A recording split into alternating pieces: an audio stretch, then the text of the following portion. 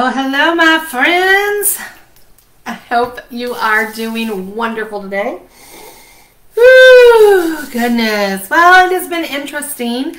I came on live at 11 o'clock to do our Detoxzyme video that we're doing today, and I did not realize until I was almost done with it that I was not actually live. I was talking to myself the entire time. So this time I am going to wait and make sure we've got a few people on so that I can see that it's actually going live because I pull my notes over so I don't even really see what's happening on the screen so that I have my notes to go by. So anyway, we're going to wait a little bit. I just put some peppermint on and I am going to put some clarity on to re-jumpstart all that, I took a few minutes between the original video that I did and um, got myself calmed down. Yay, Michelle, I'm not alone this time. Exciting. Um, but I put on like some peace and calming and put on a little bit of stress away because uh, you know you tend to get a little uptight and i also just want to say so if something weird like that happens it's life. It's normal. You just got to let it go and move on. Um, it kind of made me feel good because I'm like, why isn't anybody commenting? And now I get the why. So anyways, for the next few weeks, we're going to be discussing all of the enzymes that Young Living carries. And I absolutely love this topic. It is truly one of my favorite because enzymes are literally the key to life. Like this is what it does for us. So important. In every single action that happens in your body, every single action happens because there's an enzyme telling something to do something, flipping switches. And it worked out really good because this month this month. Thank you, baby. Angel Brian, you have to watch the video and tell me when it's live. Anyway, so this month, the month of May 2023, you get Detoxzyme for free when you place a 250 PV order. That's exciting. Young Living's always so generous, gives us so many things. So it worked out really good. The enzyme today we're talking about is our Detoxzyme. Detoxzyme is amazing. It has a host of powerful enzymes that help complete digestion. They help to detoxify your body overall, and they help to promote cleansing. This is important. We're going to dig into each of the nutrients that are in our Detoxzyme so you understand the why, so you know whether or not you need it and you feel confident knowing which enzyme you need to take for which thing. I think that's really important. And before I go and rip apart Detoxzyme, I want to talk about enzymes in general for just a second. Um, an enzyme is a biological catalyst. So it, it its job is to jumpstart something. It puts pieces together, it takes pieces apart, it turns switches on, it turns them off, and enzymes are essential for literally uh, for respiration, for digesting, for food, for muscle and nerve function, thousands of different roles. So we always, when we're talking about enzymes, we think about just your gut, but there are literally some studies tell us that there's over uh, 1,300 different digestive enzymes. I mean, different enzymes in the body. That's huge. And at any one time, there's like 75,000 different enzyme popping boop, boop, boop, throughout your body. Like, this is a powerhouse. So interesting. I enjoy studying things, and this has been one of those that have just kind of blown my mind. But regardless of which type or how many thousands, the facts are there's only three categories so there's metabolic enzymes, digestive enzymes, and food enzymes. Metabolic enzymes are the enzymes that um, promote cellular function, overall health. They speed up chemical reactions. They um, are the ones that um, help the cells to detoxify.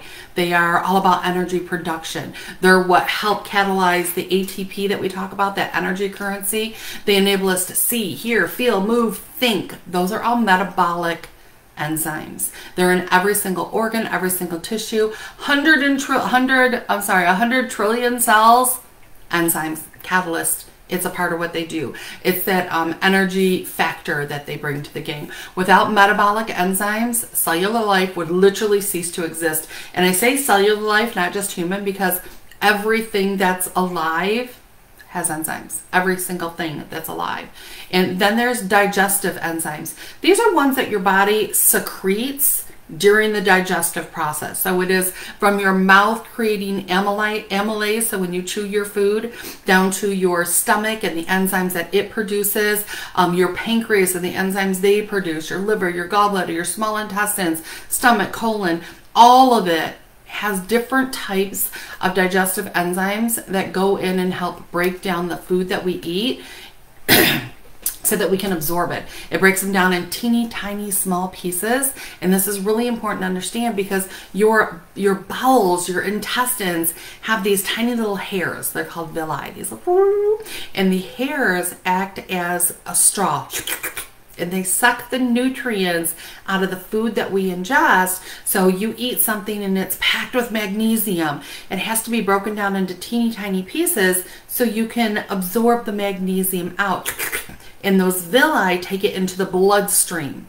And then those nutrients partner with those metabolic enzymes and then they go do the things. They build the house. Your body is the house that's the process. And your digestive system is kicking out so many different parts and pieces so we can absorb so that we feel good. And some of the digestive enzymes that your body creates are things like lipase and protease and amylase and, and pepsin and tripepsin. And all of these are digestive enzymes that are made in our body Sometimes there's a lot, sometimes there's a little bit. Then there's enzymes that we get from our food. So that third class of enzymes is food enzymes. These are introduced through the foods that we consume or through supplements that we take in. So this is um, like raw foods have lots of different enzymes. We know that. We talk about enzymes all the time. But when we cook the foods, when we process the foods, the enzymes start to die. As a matter of fact, when we pick the foods, the enzymes, so we have if you go out and you grab beans off of the vine that bean is a live food and packed with enzymes packed with vitamins packed with minerals. And if you eat it just like that you rinse it off you eat it it is an enzyme powerhouse. Things going on. But that same food left on your counter overnight already has dropped the amount of enzymes that it has. It's no longer a live food it's a raw food. Still great. Still all kinds of stuff. Still has enzymes. Still has vitamins. Minerals stay the same no matter how long they sit there. And then if you take that same raw food and you decide to just steam it for just a minute. So it kills off some of the enzymes, kills off some of the vitamins, but then it unlocks some of the other nutrients because some nutrients need a little bit of heat. And then you take that same um, green bean and you didn't just steam it, you decided to boil that baby and you boiled it, it kills off all of the enzymes that were in there. It kills off a lot of the vitamins that are in there. So understanding that processing the food, which we do, we're, we're not cows, we don't have two stomachs, right? We have to process some of the food in order to eat it. So some of those enzymes naturally die off and understand that like an apple, literally makes all of the enzymes it takes to digest an apple. It, they come together, right? But we pick apples in the fall when they harvest, and then we're still eating apples right now in July when the blooms are just starting to hit the trees. So the enzymes that were on that in that apple the day it was picked, to the enzymes that are still in it 10 months later, is it still a healthy food? Of course, it's still good for you. It just has depleted a little bit. And it's really important, like things like um, uh, lactose. People are constantly telling me I'm lactose insufficient. You know, I got lactose. I can't can't do dairy. Just gives me gas. It just bloats me. And you give me that story, but understand that real raw milk. So if you get goat milk or you get uh, cow milk, you get it right from the cow. It comes in its raw state with an enzyme called lactase. Lactase digests lactose. So you don't have that buildup of lactose because the milk, the product, came with its own enzyme to break it down. But what do we do with dairy in the US? We pasteurize it. Pasteurize is a fancy word for it. We boil that baby. We kill off the enzymes that are in there and then our body can't digest it. So I think it's important to understand why. Well, like if our food is supposed to have enzymes in it, why would we have to supplement with it? It's because we process things. It's just the cooking, processing, all of those things. It just destroys some of the enzymes. Do we get some? For sure. Does our body have some? For sure. But most of us, we have to add it. And understand, just to be clear, because I know somebody's going to type it in there, Shannon, you know, there are, there are fruits and vegetables, there's food out there that have extra enzymes, and it's true. There are some. Most only have the enzymes it takes to digest itself, which makes sense, right? But you have things like kiwi and pineapple and papaya, ripe bananas, all of those are packed with not only enzymes to digest itself as, as the product, but they have enzymes in them that help digest other foods, or they have an excess that will digest even more carbohydrate or whatever happens to be in it. Then you have fermented foods like kimchi and kefir and sauerkraut, that type of thing. They take the product, so they take it, you know, for sauerkraut, it is cabbage, and cabbage on its own has some good enzymes in it. But when you ferment it, just like when you heat some stuff, you unlock stuff, when it's fermented, it unlocks other things and it will create some other enzymes. So it will literally have enzymes that digest other things. That's part of why fermented foods are so amazing for your digestion and adding them in, you can see things like kefir. Um, even if you're using a pasteurized uh, dairy to, to, to make your kefir, um, when it gets fermented, it will create lactase. So it will make, it's like, dude, I need this to be able to digest, and it creates it because your microorganism, I'm telling you, it the way the body works is just fascinating to me. I absolutely get excited over it. So you even have things like avocados. Avocados are a food that has the lipase to digest itself. Lipase breaks down fats but it has the lipase to break down the avocado, but it has extra lipase to break down other fats and release all those fatty acids. It's just, it's fascinating. So understanding the importance between the foods that we eat and the enzymes that they bring in and where that's missing, because you know you better than anybody else. So as we're talking about the different enzymes, you can go, oh, that's something I do a lot of. I probably need XYZ, or I don't have to worry about that. I eat kimchi all the time. So you can do that math for yourself. So how it all works is when we eat, um, enzymes digest the food. They make it small enough to pass into the um, small intestines, into those villi and the microvilli. Like we've got all of these different ones. It crosses into the blood. It's sucked up it goes to the metabolic enzymes and they partner with everything and understanding that a protein enzyme can only break down proteins. It can't, you can take a ton of proteolytic enzymes and they will not be able to break down fats period. Same thing, you can take a ton of enzymes that break down fats and it can't break down anything else. So understanding how that works and why we need such a wide variety, each enzyme has a specific job. Without enzymes, nothing will work in your body. And I, I truly mean that. Enzymes are that important. So clearly, we have a lot that we need to talk about. We're not going to talk about all 1,300 enzymes. We're just going to focus on the food enzymes and the enzymes that come inside our Detoxzyme. So as we get started, I need you to know Detoxzyme is what's called a fast-acting enzyme. So this is a vegetarian digestive enzyme that you can take with the food and it's going to work quickly. It's not a slow-acting. We'll talk about some of those later. And we're going to break down each thing. So the first thing I want to talk about is cumin seed powder. It is the um, first ingredient listed in our Detoxzyme because there's more of it than anything else. And then we also have cumin seed essential oil. I'm going to go ahead and talk about both of them um, at the same time, but there is a huge difference between them and what they do. We're going to hit that a little bit too. So cumin has been used as a culinary and medicinal herb for centuries, been around for a long time. It's a part of the same family as things like celery and, and carrots, parsley. They're all in the same family. And although it's super flavorful, it's, they've also been used for the digestive system forever. And we are talking digestive system from the mouth all the way to the anus, everything in between. Detoxzyme um, has both, like I said, the seed and the oil and they are different. The seed, so you know the powder that's in there is literally derived from, the, so it's a flowering plant. There's a little seed inside it. They take those seeds and they dry them out completely.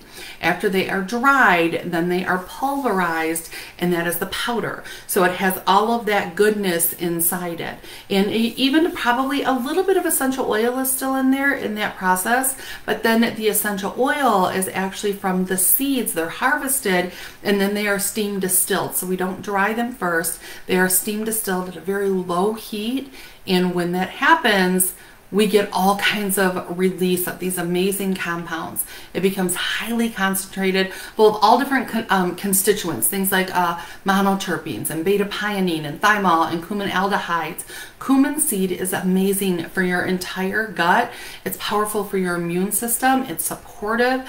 Um, it provides good, good, healthy bowel movements and good flora. So all those critters that I always talk about in your gut and how important they are, the cumin actually helps to give them that life form that they're supposed to. And they contain naturally occurring substances that work like antioxidants. Two of them are called apigenin and luteolin. Um, they keep the free radicals in check so that your body can stay strong and healthy. This is really important. Those antioxidants help you feel energetic. Who needs to feel energetic? As a side note, those same antioxidants do all kinds of different things. They help with tightening the skin. They help with your beautiful hair. They help with all kinds of things. The thymol, which is one of the um, parts that are in the cumin, supports your liver and your pancreas. Those are the organs that secrete the bile and they secrete um, enzymes and all of the acids we're supposed to have. So important for your digestion. The apigenin is a flavonoid that acts like that antioxidant and it um, um, my phone just went off. It has an affinity for metals. Affinity means it draws metals to it. So that's an interesting thing to take a note for. I'm just saying, spices like cumin help to support your body's ability to create all of the pancreatic enzymes. So things like the lipase and the protease and the amylase that your um, pancreas is supposed to kick out, they help your body to be able to do that. And um, they just stimulate overall digestion and really healthy movements, which we're supposed to have. They also support your liver and the detox pathways. Important to know that they're great for your kidneys, hormones, beautiful hair, so many different things. And that's all the cumin. So that's important. The first enzyme we're going to talk about today is amylase. Amylase helps to break down starches into small particles so they can be absorbed right during that digestion. And there's lots of foods that contain amylase. So you have things like sweet potatoes, um, barley, potatoes, different grains. All of those have enzymes. Tomatoes, those have um, amylase in them. And amylase is primarily made in your pancreas and your salivary glands. That's why we tell you to chew your food so well because it starts the digestion by kicking out amylase. When you get all that saliva happening, it's breaking it down and digesting.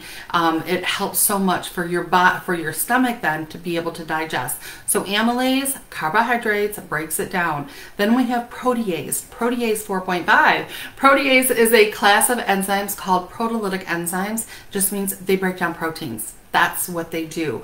One of the enzymes actually comes from, um, this is one that comes from the fermentation process. So when I said that um, things like your um, kefir and your sauerkraut can make and create enzymes, protease is one that comes from that fermentation process.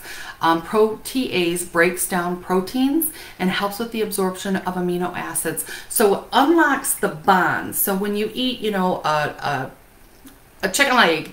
You eat that chicken leg, it breaks down the bonds. So all of those separate amino acids become individual pieces so the amino acids can go do the things. When you break apart those beautiful amino acids, they support your immune function. They promote your cardiovascular health. They um, accelerate your natural tissue repair. Like your body is supposed to constantly be replacing any tissue, anything you've done, right? That's a healthy, normal inflammatory response and it loves on your entire gut. So that's protease.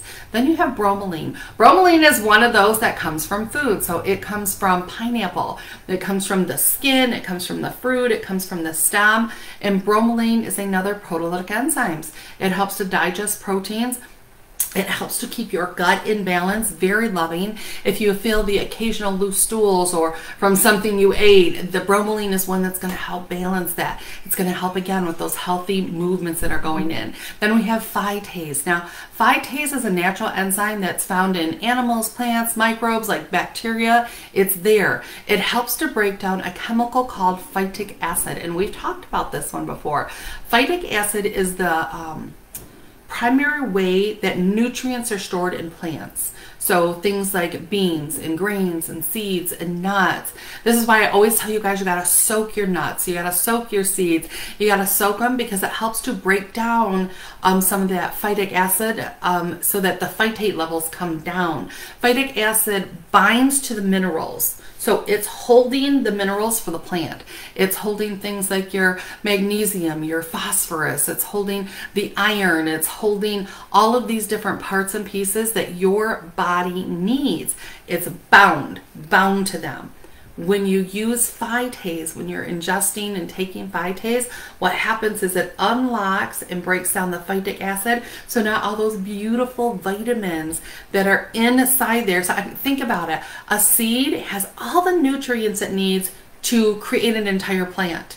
And it is bound in the phytase. It is bound to it so it doesn't lose all of those nutrients, calcium, amino acids, uh, zinc, all of those are locked in there. When you use phytase and you soak your foods when you're eating them, it's going to let them release and let you get that energy and the nutrients out of the cells. So important. Um, another one is that it helps with the good flora. That good bacteria does so many different things. So loving to the colon itself and the enzyme phytase can also help to break down that phytaic acid because even your bowels create a little bit of phytase to break down any that is left over because your body's trying desperately to get all that good stuff out of there. Then we have glucoamylase. It's an enzyme that digests partially processed starch and carbohydrates. And this isn't like um, processed because you got, you know, crackers from the store. No, this is what comes in the vegetables, the proteins, the rice, the wheats, the corn. In order to release the glucose that's in there so that we can have the energy, glucoamylase is it. So partially processed starch um, digests so what it is, is in the intestinal tract, we eat these foods and they tend to clump together, okay? They clump and they're going down the digestive canal all clumped together. And when they're clumped, we get things like that occasional constipation or that heaviness, that bloating, that feeling like, ugh, when you, when you eat something that's really high in carbs and you feel that gassy feeling, that is because your body is needing that glucoamylase. It separates all of those pieces so that they're able to go down and not give that back up. Um, and in that process, the glucoamylase helps with the fermentation that happens in your gut which is where when you're eating carbs and you're eating the beans and you're eating the grains and you get gassy, you're farting all over the place, it's normal biology. It's the way the body breaks down those parts and pieces. So it's okay. But the glucoamylase is amazing because it helps to clean up that excess so that it relieves some of that normal, you know, the gassy bloating feeling that happens. It just happens. It's biology. Then we have lactase. Lactase is the one we were just talking about that is um, supposed to come in all of our dairy. Lactase is an enzyme that helps you digest and break down lactose, which comes in your cheeses and it comes in your milks and it comes in all those different things. Um, and it it's actually um, one of the proteolytic enzymes. So in addition to breaking down lactose, it's going to break down and unlock some of the proteins that's found in the dairy as well. So you're getting all the amino acids out of it. A lot of times people are like, um, they're count they're counting proteins and they're going really low carb and they've upped all of this cheese and then suddenly they can't poop. Like, ugh, I can't poop. It locked me up. I'm bound up. It's because your body needs the lactase. It's not naturally in our dairy anymore. So making sure you're getting that lactase is going to help with that process and it's going to unlock the amino acids because if those amino acids, those proteins stay bound together and you're bound up, you're not actually getting the benefit from the protein because it's still in the poo. And when the poo still comes out, it's still in the poo. Lactase helps to unbind that so that it's going to work better for you. Then we have cellulase.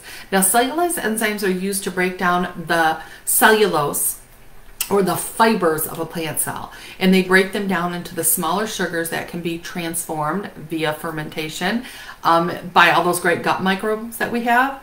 That is cellulase. And friends, listen, I said it before, I'm going to say it again. We are not cows.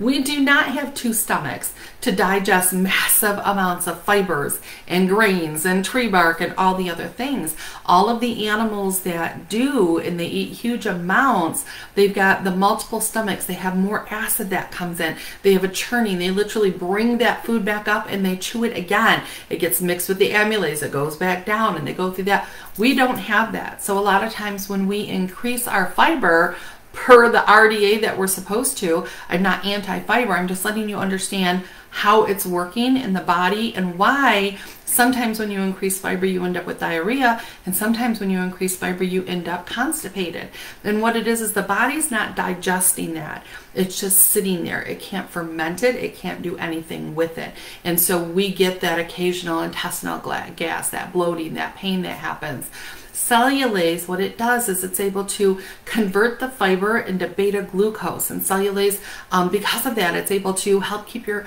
that fiber is able to help keep your blood sugar levels nice and stable, healthy blood sugar levels. It's able to um, help with cholesterol. That fiber helps with healthy normal levels of cholesterol. And this is the reason. So a lot of the credit that fiber gets from supporting our health is actually coming from the fermentation of those fibers and cellulose and all those thousands of different gut bacteria we got in there they're the world winners. They're the ones that are actually doing it. So it helps to break that down. So then we have invertase. Invertase is released by the cells in the mucous membrane of the small intestines. Invertase is an enzyme that promotes digestion of carbohydrates. So notice this one is hitting it from lots of different directions. What invertase does is it literally splits sucrose, which is common table sugar, into smaller parts and pieces. It divides it into glucose and fructose.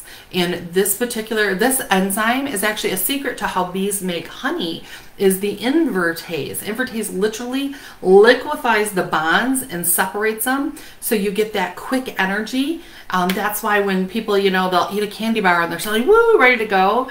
It's because that quick energy boost, that is where it is coming from. Then you have lipase. Lipase is an enzyme that the body uses to break down the fats in the food so they can be absorbed in the intestines. I can't tell you, you know, I teach all the time about the importance of fats and increasing the fats that you're eating. And then people will tell me that, you know, they're seeing the, the nuts in their stool or their, their poop is floating and it's all the fats that are going through them and not into them. Lipase is produced by the pancreas, the mouth, and the stomach and lipase with all of those pancreatic enzymes um, help to break down all of that bloating and gassing and breaks everything into these amazing fatty acids, tiny little parts and pieces. The fatty acids, these play a role in your healthy heart, your healthy blood pressure, your cognitive health, your thought process, your healthy liver, a normal immune and inflammatory response. Those are all your fatty acids. And the lipase literally helps trigger that to break them into small pieces. It uh, Lipase helps with triglycerides to maintain that healthy triglyceride level because they help break them down into smaller molecules that can be used as energy instead of stored or stuck somewhere in the body it's not lipase. Your body creates and makes it. This is an endogenous source that comes from our um. So you're getting an extra bit of it. So you know what you're eating. If you're eating a lot of nuts and you're eating your, your almonds and you're upping your fats, you're doing something like a keto. This is one that's going to really help and support that. Then we have alpha galactosidase. This one helps to break down carbohydrates that are found in things like beans, and cruciferous vegetables like broccoli and cauliflower, Brussels sprouts, um, cabbage. Think about those little drops that people take after they have eaten some bean soup or chili. This is going to help with that, that gas, that, that occasional burning that can happen. That's what's in there. And not only that, your body makes and uses this beautiful molecule as a part of normal recycling of your old red blood cells and all the other different cells in your body. Your body is amazing. It knows what it's supposed to do. It creates what it needs. And that's one of the ones that it just does amazing things with. As always, Young Living supplements always are packed with essential oils, like all of the ones that we have, and they always complement the main reason for the supplement, right? And they add benefits. And in our Detoxzyme, there's three different essential oils. Cumin seed oil, we already talked about, so I'm not going to go over that one again. But then we also have anise seed oil. And I'm always, when I'm teaching a class, I typically end up saying anise seed. And it really should be called anise seed because it is phenomenal for what it's it's going to do for your gut. This one is native to Egypt and the middle. Um, Mediterranean. Medicinally, it's been used in foods for centuries. It has been used for all kinds of different reasons. Same plant family as the cumin, so it's the same family as celery, carrots, parsley, that whole family, and it is known as a tummy tamer. Teas made from the anise um, are soothing, relaxing, um, great for occasional upset belly. The steam from that same cup of tea helps to open up your nasal passages so you can breathe and feel so good, comfortable, great for the abdominal. Um, internally, like when you're taking it in our Detoxzyme, um, anise essential oil is very supportive to the stomach, the small intestines, the liver. It's great for um, your large intestines. It encourages proper bowel movements, normal healthy hydrochloric acid levels in your stomach, which are so important. The other oil that's in here is our fennel seed essential oil. Now, you guys know I talk about fennel a lot. I talk about using it topically over the throat, over your vocal cords to help you speak your own truth. That's a whole nother class emotionally what it does, how it's how it's calming. But fennel, the seed itself, is native to southern Europe and these beautiful it is the seeds the leaves the pollen the stalk the bulb fennel is edible top to bottom it's one of those plants and again it has been used as a food source and it has been used medicinally for a host of different things throughout the years fennel essential oil is derived solely from the seeds. So although you can eat the whole plant, Ours comes directly from the seeds. It is steam distilled and it has all those amazing properties, all that concentration of all of those different chemical components that get in our body and do great things. Taken internally, like in our Detoxzyme, fennel essential oil supports your digestion and all of those detox pathways. It's really important. It helps with those bowel movements. It helps keep your gut healthy and thriving. A few drops of fennel vitality in a cup of hot tea before a meal supports that proper digestion. It soothes that upset tummy and it calms the appetite so you feel like you're in control when you're sitting down to eat. It is a powerhouse. So all together, our Detoxzyme has a host of powerful enzymes and oils that digest plants, plant fibers, beans, nuts, seeds, dairy, proteins. On top of that, it helps unlock the nutrients from your food that help to detoxify your body. It is a powerhouse that promotes overall cleansing.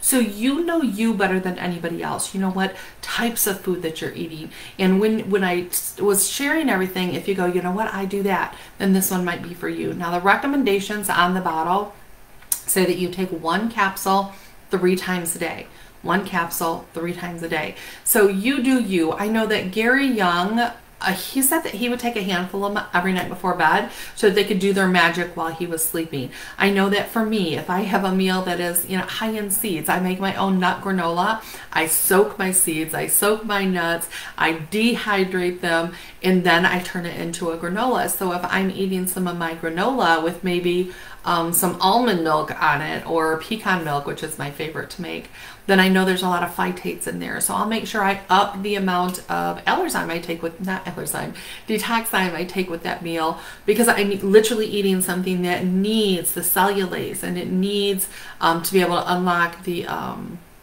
the phytates that are in there. So it needs the phytase. So depending on what I eat also will change the amount that I take. If I am eating a really high fibrous food and, and I decide to have beans or something, this is what I'm going to grab for because it's going to help me digest it. If I'm going to eat the food, I want to get all the nutrients out of said food and that's our Detoxzyme. So over the next few weeks, we are going to talk about all of the enzymes that Young Living carries and um, really break them down so that you'll know when and what and what would your broad range be and what are fast acting enzymes compared to slow acting enzymes and we need both and what a balance it is. So if you are brand new and somebody sent you this video, get back with the person that sent it to you. They're going to help you unlock all of the different savings that Young Living offers. If you found me on your own, shoot me a message. I'll help you out. But and either way, I will see you at the next whatever. I do classes about every other day. So you can pop on here on Facebook Live and see what we have going on. All right, guys, God bless. We will talk with you later.